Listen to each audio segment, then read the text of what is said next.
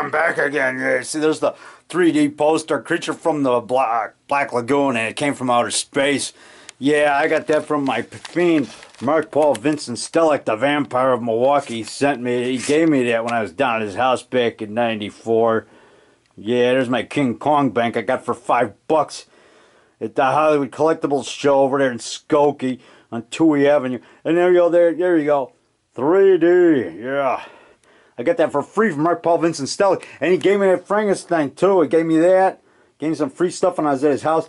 Yeah, and then our fiend John Scott was there. Yeah, John Scott. Yeah. And by the way, he was down there too. He's a fiend of mine on Facebook now. And by the way, that is, that is not nudity. She's covering it up. She's got her hands there. She's covering up. And those are some panties I got at the All Freaking Night Film Fest that I hosted in Seattle. Was It's got clothes on? It's a yeah. That's not nudity. That's a that's a model I met when I was on the Mancow Morning Madhouse for the first.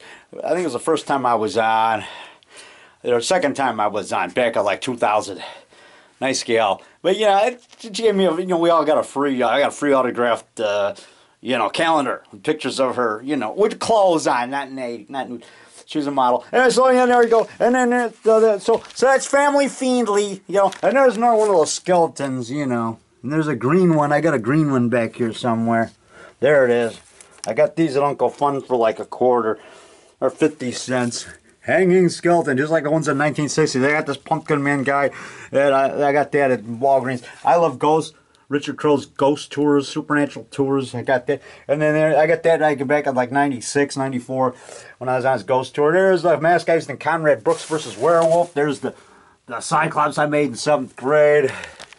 There's Invasion of the Saucermen. I got that from our fiend Terry Murray, who passed away about a year ago. May he rest in peace. I got that for about three bucks, five bucks when I first met him. He gave it to me for like three bucks when I met him in uh, Milwaukee at a sci-fi, sci-fi, uh, sci-fi um, con- convention, and Butch Patrick was there. Um, you know Eddie Munster, you know from the Munsters. I got an autographed picture for five bucks from Butch Patrick for five bucks, autographed with holding his wolf wolf, you know, his little Eddie Munster. So that's when I first met Butch Patrick. I met him a couple times later. He's going to be in my upcoming Creature from the River, or or no, Monster, the Monster from the River, aka the creature from the lake. You know, so you know that's what I'm gonna call it. Instead of creature from the Black Lagoon, creature from the lake.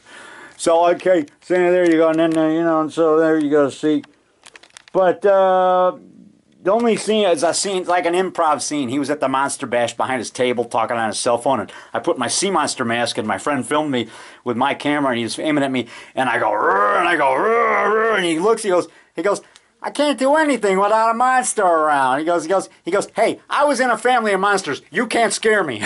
he holds a picture of him as Eddie Munster, you know. Uh, I, I had my aunt attacking him. I'm wiggling my aunt at him, and he goes, ah, he goes, he goes, he goes, he goes, I can't do anything with these monsters around. Anyway, so here we go. There we go. So anyway, there you go. By the way, you can see a pre. There's that was Teenage Mummy up by Christopher Frieri. I got that movie. I got it on video. I got a video down there of it down here in my collection of videos down there. And so, you know, and then there's, you see my Palmer monster figures. You know, there's a wind-up creature, by the way, that I got. I got that on, I think, Uncle Fun. I got the wind-up Kong and Uncle Fun. And then you see the Kong by Palmer figures. And the werewolf, the Cyclops, Dracula. You know, and you see the, the yeah, there's a, the little Wolfman guy. I got like a Burger King you know, or White Castle. I think it was White Castle. I had those things, you know, and I, you know, I buy a lot of monsters. There's the Aurora model Frankenstein. I got that for 20 bucks at yesterday's in Chicago. You know, and there's the poster, you know, The Rock, Ed Wood of the 21st Century. That's the documentary about me by, you know, Streffen Taylor. But, you know, recorded by our fiends, uh, Ch- um, not Chase, um, what's that guy's name? You know, um, well, okay, Chuck Jarman is one of them. Chuck Jarman filmed some of it, and then the other guy was, um, um, gosh, what's his name? White, what, Wit, Wit, um. Jace, Jace Whitman, yeah, Wit, the uh, last first syllable of his last name, Jace Whitman, yeah, yeah. So you know he was recorded. They were here in 2007. They, didn't doing that documentary on me called The Rock, Ed Wood of the 21st Century, you know. And, uh, you know, there's a thing I made by a uh, Strep, um, Stefan, um, Steph, Stefan, uh, whatever, some guy named Stefan did that for me. He's got a long hair in my devil, and he goes, Rawr! you know. So, you know, so, and then there's my Miss Frankenstein mask, which I'm going to use on my upcoming Miss Frankenstein. It's like my version of uh, Frankenstein's daughter, you know, and I sort of play the Donald Murphy character in Frankenstein's daughter, Dr. Frank. The Frankensteins were geniuses. They had talents undreamed of by man. And I go, I go, I go, and the guy says, uh, that, you know, they, they, they were a myth. That you, and I say, well, that's what you say. But the Frankensteins were geniuses. They had talents undreamed of by man. And he goes, yes, yeah, so anyway, there you go. There, that's my drawing of Vampire Woman.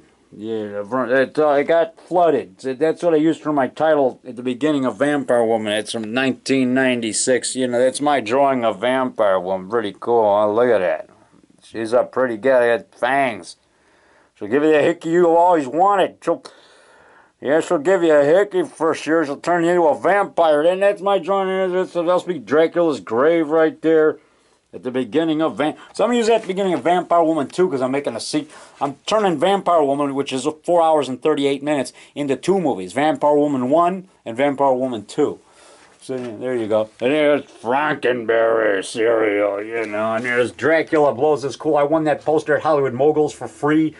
When my uh, my ticket got picked out of the hat, Buddy Barnett picked the ticket out of the hat, and mine got picked, so I won a free poster. And so and people met me. People say, "Yeah, I've seen your movie, Conrad Brooks versus Werewolf." This was in this was May '95, the day after the Son of Famous Monsters convention out there in Universal City. And this was in Hollywood at Hollywood Moguls over there in Cherokee Avenue. Or not, no, Sunset, excuse me. I think that's Sunset. Cherokee Avenue, that's where I think, um, that's where uh, Boardner's Bar, Boardner's, B O A R D N E R apostrophe S, Boardner's. That's where Conrad is the bartender in Ed Wood. And then about two doors to the, just to the left of it, you know, like north of it or south of it, is uh, that place that they used that for the place where Bela Lugosi was getting his coffin in Ed Wood with Martin Landau, played by Martin Landau, where he's trying out the different coffins. He goes, Your coffin is too restrictive. You're wasting my time. Yeah. too constrictive. You're wasting my time. I told you I don't want any of your GD coffins. he goes, he goes, hi. He goes, and what you want? He goes, Oh no, no, I'm I'm a fan. I'm I'm your biggest fan. I'm Ed Wood. You know. he goes, he goes, what do you want? He goes, oh, I'm just a big fan years ago. See, oh, you were great in Dracula, you know. Oh, the movies were so much better then. He goes, now they want to make movies with giant spiders. He's got the the stogie. They got these movies with giant spiders and stuff. It's just, it's un, it's unbelievable, you know, unbelievable, Eddie. And then he goes, so you know. and he makes the movie and he goes, he goes, Ed Wood's on the phone. He goes, I want transvestites. I need transvestites. And Bela's looking. He goes, Eddie, what kind of movie is this? He goes, Oh, well, you're like the puppet master. He goes, Oh, so I pull the strings. Oh, yes, okay, enough of that. Great movie. I've seen that like 33 times, Ed Wood. 35, 34 times. 12 times the theater. I saw it in second run theaters for like $1.75. And then, uh, then I saw it on TV like uh, like another 18, uh, 20 times. 21 times. I got no video. I got video. I've seen that video. I've seen the video like about, you know, 10 times. Seen on TV probably about three times. And the rest of the times are all on video. I got the video. Yeah, yeah. Miss Frankenstein coming soon. And then here, of course, is my, uh, down here is my, uh, there's, oh, and there's a little fake tombstone there. RIP, R.I.P. There's an old clock you know, I had since I was in the Marine. There's that mummy soda. It still got soda in it, man. You want it? I don't think so. It's probably too bad. It's too old. That's the Jones. Yeah, that's the Jones. There, the Frankenstein. I got all. I got all those. And then I just dropped my tombstone down here. I don't want to drop my tomb. Oh, that's probably where my Elvira movie. This I got my movies down here. Yeah. Oh, look, Frankenstein, Fangoria's Weekend of Horrors. I think I got my Elvira uh, Night of the. Uh, oh, Werewolf from the Witch. That's my movie. Yeah, Chuck Jarman and Jace Whitman made DVD of that. You know, back then. That was back before it was distributed by um, Streffen Taylor of November Fire. That was this was that was years before that. You know, that was like three years before that. Monster Bash 2009. I'm in that. That's a DVD. Yeah, Night of the Ghouls. I have a VHS of Night of the Ghouls hosted by Elvira. and I was wondering what happened to it, but it's probably down there. Oh yeah, there, there it is. There's the back of another copy of World from the Witch.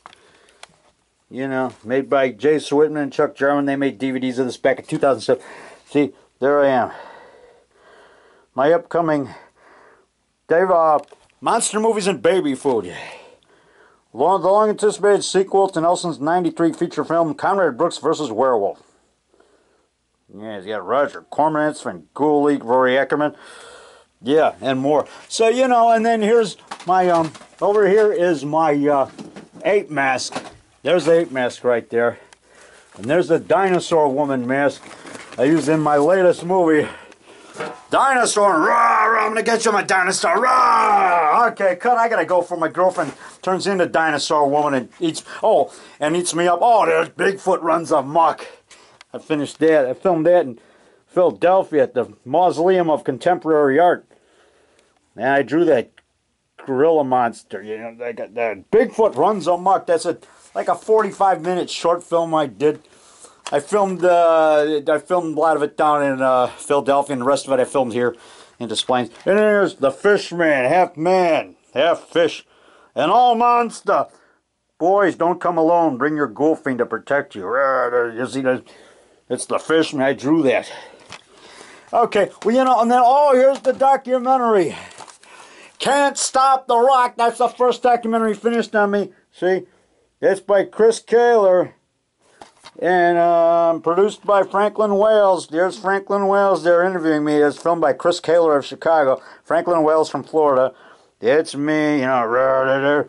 There I'm chasing vampire woman through the, through the haunted cemetery with my stick. Yeah, that uh, wooden stake, I got that made for 75 cents at the former uh, Hines Lumber Company. But they burned down later, unfortunately. But you know, there's another Hines down in Chicago. But anyway, I want to say, look, and I had a pastor named Pastor Hines, spelled the same way, H-I-N-E-S, over at Brentwood Baptist Church in Des Plaines, Illinois. He's uh, like the senior pastor now. He uh, preaches to the, he helps out the seniors. He preaches to the seniors, but they have a younger pastor now, Pastor York, who preaches. And Jan and I visit there one about once a year. You know, we visit because it's kind of out of our way. We watch Joel Osteen on Sunday mornings. That's our church now. We go to churches, you know, closer by. Oh, there you go. The rock. There's a rock. Ed Wood, 21st Century Documentary by Streffen Taylor, A November Fire. There you go. And a Werewolf and the Witch. Look at that. Four Hours of the Rock. Yeah, I got like two copies left. But you can get them from November Fire, you know, because I'm running out. They're the ones that distribute. They gave me 50 copies as payment, and I sold them all. And I got a check for a thousand bucks for the rights to clips of my movie. So I made a thousand bucks. Plus, I, he gave me 50 copies of it to sell, and I sold them all already. It took me a couple years to sell them all, but yeah, twenty bucks each times fifty. That's pretty good money there. Guys, but I did. It took me like you know three years to sell them all because I was selling my other movies same time. You know, so I didn't make that all. But hey, I got a nice check for a thousand bucks for uh, rights to use scenes of my movies in the documentary. They they paid me that. That was nice. That was very generous. Oh, and then here there's a video of my volume two, Werewolf versus Dracula. I drew that. And then it's me battling Dracula. It's actually Nosferatu, like an outer space Nosferatu. That's that's Paul Panic wearing the suit. But we took turns being Dracula and we took turns being ourselves, so we could have actually three different characters in the movie. He played himself. He's got long hair. He had a rock band called um, Soul Soul Scream. Soul Scream. S O U L. Soul Scream from Park Ridge.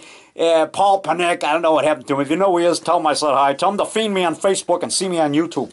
Tell him to search for David Rock Nelson and send me a fiend request on Facebook. There's our werewolf first there, our uh, Dracula from space. C. The Rock versus a space alien. C. Dracula from space. Plus, Frankenstein meets John Payne Fakey. That's like a parody of Gacy because he lived only a couple miles from our house. When he was on the rampage, I was in high school. I was like 16 when he was, you know, killing guys. And you know, I could have been one of his victims, but I didn't go to those places. I didn't go to the bars yet. I didn't go to a bar till I was 19. And my brother told me that uh, that was the same bar that John Wayne Gacy used to go into. You know, that was one of the bars he went to. out in Edison Park. Now it's called Moretti's Pizza. They got a bar, Moretti. It's called Moretti's. They got a pizza place and a bar. But they they they used to have an old counter in there, and that's where I had my first beer when I my 19th birthday. My brother took me there because it's just outside of Park Ridge because Park Ridge is dry. They don't have bars in Park Ridge, so you got to go just outside, like to Niles, you know, or or Edison Park, which is down like less than a mile away from Park Ridge. And uh, they we went to Snuggery Pub. Now it's called Moretti's, and that's where I had my first beer on my 19th birthday. I had like two beers. I had a beer there, and then went to Edison Park Tap next door. They call it E EPT now or EPI, uh, Edison Park Tavern, EPT, short for Edison Park Tavern. But but anyway, that, but I guess called Edison Park Tavern. They had a little bowling, they have a bowling alley in there. You know, so they bowl in there. But uh, that's had my second beer. Yeah, my brother took me there on my 19th birthday, November 27th, 1976. And so there is the, so you just, so uh, I made a, a, parody called Frankenstein Meets John Payne Fakey, and I did that when Gacy was on uh, death row.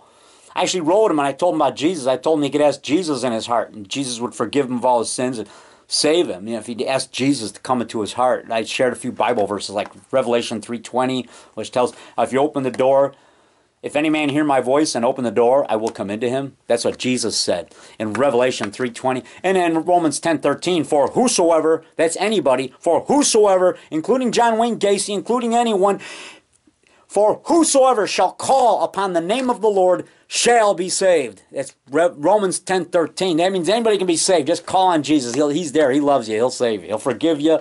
He loves you just as you are. He understands.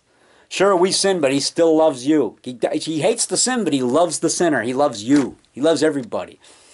He, he, don't think that you're not good enough for God. God loves you just as you are. He wants to save you just as you are. Just come to say, Jesus, I'm sorry. I know I know I'm a sinner. Please come into my heart and save me.